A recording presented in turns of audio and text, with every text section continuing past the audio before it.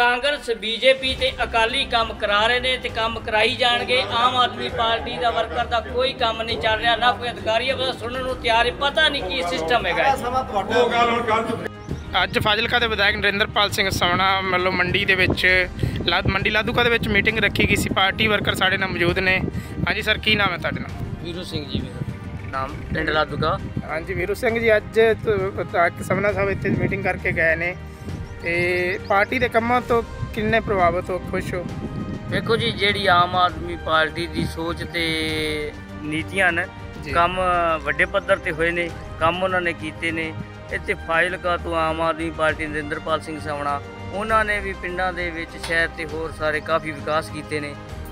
ਤਾਂ ਕਿਤੇ ਇਹ ਹੈ ਕਿ ਆਮ ਆਦਮੀ ਪਾਰਟੀ ਦੇ ਜਿਹੜੇ ਵਰਕਰ ਨੇ ਉਹਨਾਂ ਦੀ ਹਾਲੇ ਤੱਕ ਜਿਹੜੀ ਇਹ ਪ੍ਰਸ਼ਾਸਨ ਅਧਿਕਾਰੀ ਅਫਸਰ ਸੁਣਨ ਨੂੰ ਤਿਆਰ ਨਹੀਂ ਹੈਗੇ ਕਿਤੇ ਨਾ ਕਿਤੇ ਜਿਹੜੀਆਂ ਪਿਛਲੀਆਂ ਪਾਰਟੀਆਂ ਜਿਹੜੀਆਂ ਹੈਗੀਆਂ ਸੀ ਕਾਂਗਰਸ ਵਗੈਰਾ ਉਹਨਾਂ ਦੇ ਵਰਕਰਾਂ ਦੇ ਉਹਨਾਂ ਦੇ ਬੰਦਿਆਂ ਦੇ ਹਾਲੇ ਕੰਮ ਹੋ ਰਹੇ ਨੇ। ਆਮ ਆਦਮੀ ਪਾਰਟੀ ਦੇ ਵਰਕਰਾਂ ਨੂੰ ਹਾਲੇ ਕਿਤੇ ਨਾ ਕਿਤੇ ਪਿੱਛੇ ਸੱਟਿਆ ਜਾ ਰਿਹਾ ਜੀ। ਕਹਿਣ ਦਾ ਮਤਲਬ ਅੰਗੋਲਿਆ ਕੀਤਾ ਜਾ ਰਿਹਾ। ਹਾਂਜੀ ਹਾਂਜੀ ਬਿਲਕੁਲ ਜੀ ਬਿਲਕੁਲ।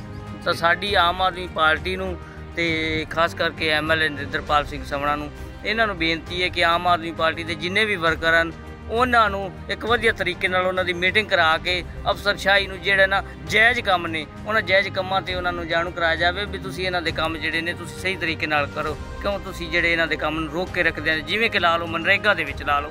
ਮਨਰੇਗਾ ਦੇ ਵਿੱਚ ਸਾਡੇ ਪਿੰਡ ਲਾਧੂਕਾ ਦੇ ਵਿੱਚ ਪ੍ਰਬੰਧਕ ਲੱਗਣ ਤੇ ਵੀ ਜਿਹੜੇ ਉਹ ਲੋਕ ਨੇ ਜਿਹੜੇ ਉਹ ਆਦੇ ਤਰੀਕੇ ਨਾਲ ਕੰਮ ਨਹੀਂ ਕਰਾ ਸਕਦੇ ਆਮ ਆਦਮੀ ਪਾਰਟੀ ਦੇ ਵਰਕਰ ਆਦੇ ਤਰੀਕੇ ਨਾਲ ਨਹੀਂ ਕੰਮ ਕਰਾ ਸਕਦੇ ਪਿਛਲੀਆਂ ਸਰਕਾਰਾਂ ਤੇ ਪਿਛਲੀਆਂ ਪੰਚਾਇਤਾਂ ਨੇ ਉਹ ਹੀ ਆਦੇ ਤਰੀਕੇ ਨਾਲ ਮਨ ਮਰਜ਼ੀ ਨਾਲ ਕੰਮ ਕਰਾ ਰਹੀਆਂ ਨੇ ਜੀ। ਜੀ। ਤੁਸੀਂ ਵਿਧਾਨ ਸਭਾ ਦੇ ਵਿੱਚ ਆਦੀ ਕਿਸਮਤ ਅਜਮਾਈ ਸੀ ਹੁਣ ਲੋਕ ਸਭਾ ਚੋਣਾਂ ਆ ਰਹੀਆਂ ਨੇ। ਕੀ ਲੱਗਦਾ ਹੈ ਵੀ ਫਿਰੋਜ਼ਪੁਰ ਤੋਂ ਕਿਸ ਨੂੰ ਸਪੋਰਟ ਕਰੋਗੇ ਜਾਂ ਰਾਏ ਸਿੰਘ ਬਰਾਦਰੀ ਨੂੰ ਟਿਕਟ ਮਿਲਣ ਦੇ ਆਸਾਰ ਹੈਗੇ ਆ?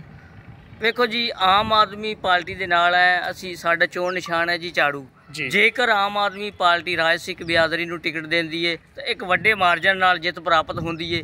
ਪਰ ਜੇਕਰ ਆਮ ਆਦਮੀ ਪਾਰਟੀ ਜਿਹੜੀ ਕਿਸੇ ਨੂੰ ਵੀ ਟਿਕਟ ਦਿੰਦੀ ਆ, ਜਿੱਤ ਜ਼ਰੂਰ ਹੋਵੇਗੀ, ਪਰ ਇਹਨਾਂ ਥੋੜਾ ਥੋੜਾ ਜਿਹਾ ਘੱਟ ਜਿੱਤ ਹੋ ਸਕਦੀ। ਜਿੱਤ ਹੋਣੀ ਪੱਕੀ ਲਾਜ਼ਮੀ ਹੈ 100 101% ਜਿਹੜੀ ਆਮ ਆਦਮੀ ਪਾਰਟੀ ਦੀ ਜਿਹੜੀ ਫਿਰੋਜ਼ਪੁਰ ਤੋਂ ਜਿੱਤ ਪੱਕੀ ਹੈ ਜੀ। ਜਿਨ੍ਹਾਂ ਨੂੰ ਮਰਜ਼ੀ ਦਿੰਦੀ ਹੈ ਆਮ ਤੋਂ ਛੋਟੇ ਤੋਂ ਛੋਟੇ ਵਰਕਰ ਨੂੰ ਵੀ ਜੇ ਆਮ ਆਦਮੀ ਪਾਰਟੀ ਟਿਕਟ ਦਿੰਦੀ ਹੈ ਤਾਂ ਆਮ ਆਦਮੀ ਪਾਰਟੀ ਦੀ ਜਿੱਤ ਹੋਵੇਗੀ ਜੇ। ਕਾਂਗਰਸ ਸ਼ੇਰ ਸਿੰਘ ਬਾਇਆ ਨੂੰ ਟਿਕਟ ਦੇ ਦਿੰਦੀ ਹੈ ਫਿਰ ਦੋ ਨੁਮਾਇੰਦੇ ਰਾਏ ਸਿੰਘ ਬਰਾਦਰੀ ਦੇ ਅੱਗੇ ਸਾਹਮਣੇ ਸਾਹਮਣੇ ਹੋ ਜਾਣਗੇ।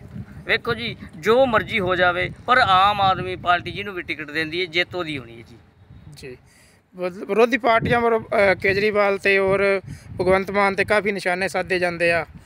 ਤੇ ਤੁਸੀਂ ਕੀ ਕਹਿਣਾ ਚਾਹੁੰਦੇ ਹੋ? ਵੇਖੋ ਜੀ, ਇਹ ਇੱਕ ਰਾਜਨੀਤੀ ਹੈ ਉਹਨਾਂ ਨੇ ਜਿਹੜੀ ਇਹ ਪੰਜਾਬ ਸਰਕਾਰ ਹੈ ਤੇ ਜਾਂ ਦਿੱਲੀ ਦੇ ਵਿੱਚ ਚੱਲ ਰਹੀ ਸਰਕਾਰ ਹੈ ਤਾਂ ਇਹ ਆਮ ਆਦਮੀ ਪਾਰਟੀ ਕੇਜਰੀਵਾਲ ਨੂੰ ਜਿਹੜੇ ਸੱਚ ਦੀ ਆਵਾਜ਼ ਨੂੰ ਦਬਾਉਣਾ ਚਾਹੁੰਦੇ ਹਨ, ਤਾਂ ਜਿਹੜੀ ਆਮ ਆਦਮੀ ਪਾਰਟੀ ਹੈ ਕੇਜਰੀਵਾਲ ਸਾਹਿਬ ਨੇ, ਇਹ ਸੱਚ ਤੇ ਜਿਹੜਾ ਬਿਲਕੁਲ ਪਹਿਰਾ ਦੇਣਗੇ, ਇਹ ਚੁੱਕਣ ਵਾਲੇ ਨਹੀਂ ਹੈਗੇ ਜੀ। ਇਹ ਇੱਕ ਇਮਾਨਦਾਰੀ ਨਾਲ ਵਧੀਆ ਤਰੀਕੇ ਨਾਲ ਕੰਮ ਕਰ ਰਹੇ ਹਨ, ਤਾਂ ਇਸ ਕਰਕੇ ਜਿਹੜੀ ਮੋਦੀ ਸਰਕਾਰ ਹੈ ਤੇ ਦੂਜੀਆਂ ਸਰਕਾਰਾਂ ਨੂੰ ਇਹਦੇ ਤੇ ਜਿਹੜਾ ਥੋੜਾ ਜਿਹਾ ਪਰੇਸ਼ਾਨੀ ਹੁੰਦੀ ਹੈ ਕਿ ਇਹ ਲੋਕਾਂ ਦੇ ਜਿਹੜੇ ਕੰਮ ਕਰਦੇ ਹਨ ਇਸ ਕਰਕੇ ਇਹਨੂੰ ਦਬਾਇਆ ਜਾ ਰਿਹਾ ਜੀ। ਜੀ।